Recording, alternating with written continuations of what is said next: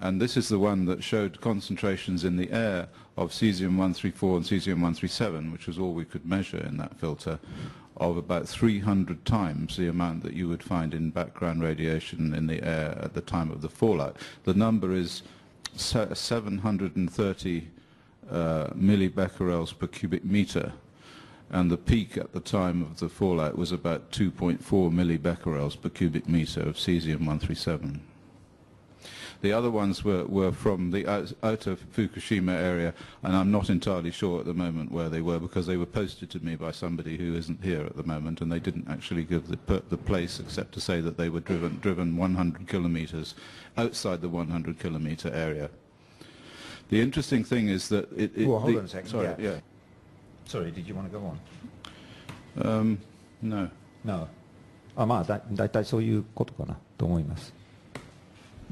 ごめんなさいあのじゃあプルトニウムはこの間ちょっとお話した時は福島の1台というふうにお聞きしてるんだけどそれで間違いないかっていうことだけ確認いただけますか、プルトニウムが検出されたエアフィルター We, ha- we can't find plutonium in the air filters or uranium as such. We find alpha emitters. And so the alpha emitters have to be either plutonium or uranium, and probably is uranium. And there is some evidence that, it, that there, from the gamma lines that there is a significant amount of uranium in there. So we can't say yet, but they, these filters are being analyzed at a laboratory where, where, where, they're looking for plutonium and uranium specifically. At the moment, the, answer we haven't got. Right. that yet. And um, uh, it wouldn't surprise me if there is, is, is not uranium and plutonium in there because we were at Aizu Wakamatsu with this ga- portable gamma spectrometer and we saw, we saw on the soil there quite high levels of contamination and this is quite a long way away but certainly containing a signal from, u- um, from enriched uranium, from uranium-235. ありがとうございます。すいません、あのもう一問だけさせていただいて、あの えーとまあ今回あの福島に、えーいらした理由の一つに、まあそこに住んでいる子どもたちの集団疎開をまあ進める裁判のお原告の方々の招きで来日されたわけなんですが、日本では、えー年間20ミリシーベルト以下の学校であれば子どもたちを外でスポーツさせたり遊ばせたりしても大丈夫だという基準で現在のところ普通に学校が行われております。この政府の対応について博士はどういうふうにお考えかお聞かせください I think the Japanese government have been criminally irresponsible in irradiating these children at those levels. I, ca- I- I cannot imagine how you can possibly have a law and then decide to change it on the basis of some, some snap decision that, that, that is pragmatic. And, and that decision will, will result almost certainly in, in the deaths of a lot of children. Th- This, this, this beggars belief how they, can, how they can behave in this way in a civilized country. It would not be allowed to happen in Europe. But I should add that in calculating the dose to these children, the government appears to have not calculated the internal dose at all, because as far as these filters are concerned, even people 100 kilometers away from this plant will have already received more than 20 millisieverts. ありがとうございました。 えーそうしましたら会場の方でご質問を受け付けたいと思います。お一人あの私が2問してしまったんですけど1問ということで手を挙げていただければと思います。えーそうしましたらじゃあ、ま、前の方から。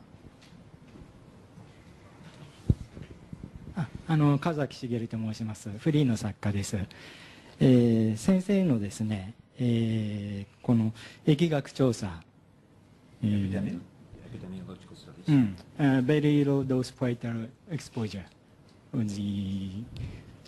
リこれ先生の論文ですかチェルノブイリのですね、えー結果ですね、えー妊婦の内部被爆子宮の内部被爆によって、えー胎児ですね。0歳児から1歳児の白血病がイギリス、まあ、イイングランド、えーそれからギリシャ、えードイツで増えたと。またベラルーシの調査もあります。その疫学調査をですね私3回ほど読んでみたんですね。でどうしてもですねあの理解できないところがあるので、え2点質問します。あ一問でおな同じものなんですけど。まずあのイギリス、えー UK とドイツに対しては1万人に補正した場合に、えーほとんどですね白血病が増えてない一人増えあるかいないかですね増えてる、えー寄与率、えっ、と、すいません。ちょちょっと、あの、理理解できないんですけども、ちょっとははっきりとおっしゃってくださいね。Okay, maybe better in English. それでも構いません。Uh, uh, in case of UK and Germany, uh, maybe the uh, increase of leukemia is uh, 1% was one, one person, maybe, in consideration of 10,000 people.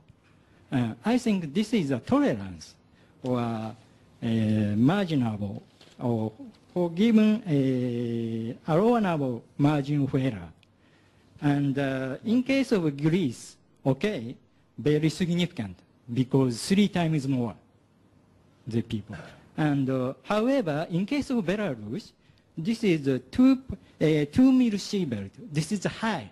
However, the increase is not so much, not significant. So Okay, you can stop there. I know what you're talking about. I can't understand. Yes.あの、はい、えー Yeah, わかりましたので。 okay, well, え bu- but it is because you're assuming that there, if you double the dose, you must double the effect. This is this is a, a linear linear dose response. ー right, keep short then. えっ、と、だからね、あの But there are many many. There's a huge amount of in, ev- evidence now from epidemiology that the dose response is not is not monotonically increasing. It goes up and then it goes down and then it goes up again. Reasons for this are quite well under, understood now.